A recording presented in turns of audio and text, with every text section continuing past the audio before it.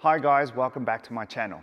So in today's video, I'll be tackling how to break the opponent's guard. See, sometimes students will ask themselves, is Wing Chun a defensive system or an offensive system? Or is it both? See, one of our key Wing Chun principles says we defend and attack simultaneously. And when you're in a situation where you need to fight, where you need to defend yourself, it's very wise for you not to wait, especially if you're in close proximity. You need to learn to strike first and attack. So in today's video, I'm going to show you three effective ways to break the opponent's guard. If you're new to the channel, welcome. So here I upload videos regarding Wing Chun, tutorials, how-to, demonstrations, and I also upload my Wing Chun by Design podcast. So if you're new to the channel, you may want to consider subscribing so that way you can keep up to date with everything that I'm uploading on a weekly basis. So guys, let us not waste time. Let's get started.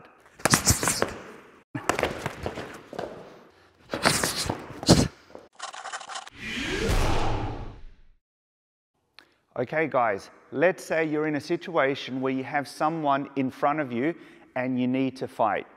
You need to defend yourself. You already thought of different strategies of you avoiding the situation, getting away or running away. But let's say for today's scenario, those options are not possible. Your back is against the wall, you need to fight. Okay, depends on how far the opponent is, is what strategy you should use. Also, is the guy in front of you standing with a really high guard, a low guard, or his arms are just all over the place and in front of you? So those elements are super important for you to see what options you have when breaking the guard, when attacking. So in today's video, I'm going to show you three strategies to deal with these three different options. Okay? And it's very important that when you're using these techniques, is to think outside the box. Most people think always of head hunting, just attacking the face. But really, you should use the whole opponent's body as a possible target for you to strike. And in self defense, you need to strike fast and hard. Okay? You don't want to play around with any possible situation because it might put you at risk. So today, I'm going to keep it short and sweet and effective. Okay, so let's start with option one. Okay, guys, so I've got Sam, my longtime student, helping me out with today's video. Now, for technique number one, we're dealing against someone standing in front of us with a guard already set up. However, the leading hand is a little bit low. All right, so if we have someone standing like this in front of us, we can take advantage of that position. So let's say Sam already is on his guard and we need to act. So Wing Chun principle says we defend and attack simultaneously. If our opponent already has a guard fairly low, we can definitely go to the face and use the pak sao just to redirect and then go with our straight punch. Now, having said that, if you're gonna go, you need to fully commit. You can't go kind of just like halfway because if the opponent knows what he's doing and he's got that guarding hand there and you don't fully commit, that hand will immediately stop your punch. So when you do your pak sao, you need to fully commit. Something like boom, going all the way in. Then when you do that, I would recommend follow up immediately. So once you saw the opportunity, you have to seize it. You have to go, you have to go in. So what I'm doing right now is I'm doing the pak sao, follow up, and then I'm finishing with a punch to the solar plexus. Okay? Something like this. So you go one, and then you just go forward with that punch to the solar plexus. I'll do it again. One, and then punch to the solar plexus.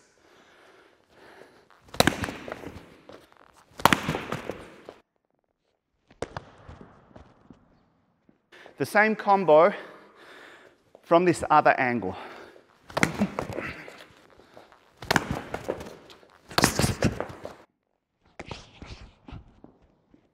Perfect. Technique number two. This time we're dealing with someone holding a high guard. So they're up here, okay?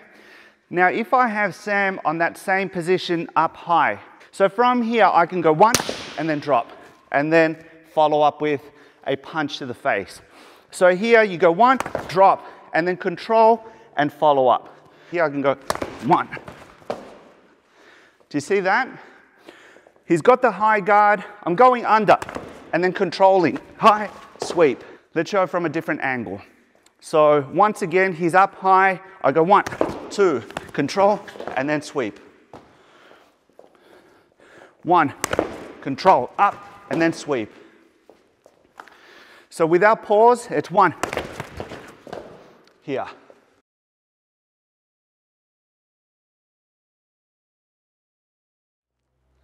Okay, now for technique number three. This time our opponent is holding kind of like a wide guard.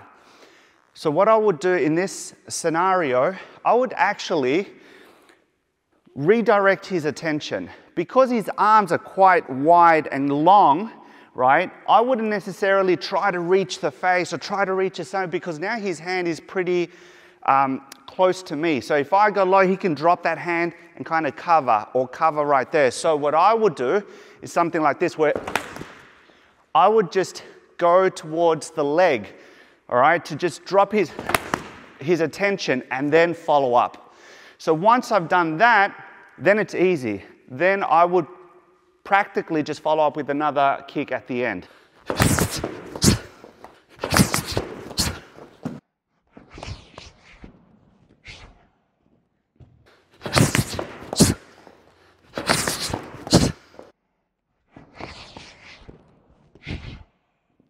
Okay guys, so that's it for today's video.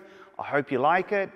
Make sure you work on these techniques so that way they become reflexive in your movements. Check your balance, check the distance, the speed, and work on it so that way you become effective when applying these techniques.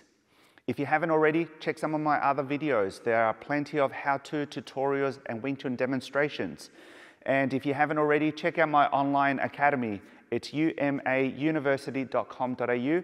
I'll make sure to post the link down below so that way you can check out my free introductory applied Wing Chun course and you can learn from those videos as well. And also, if you haven't, check out my Wing Chun by Design podcast.